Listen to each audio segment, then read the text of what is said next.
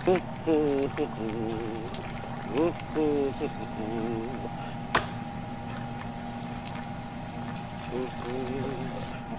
like my mama used to make. Bellissimo. Italian pasta. What the f is that? I'm not eating that. What's wrong with Chip? Listen, my mama's a They all booed at me. You and your f pasta. My mom. I'm not eating that, Mr. Capello.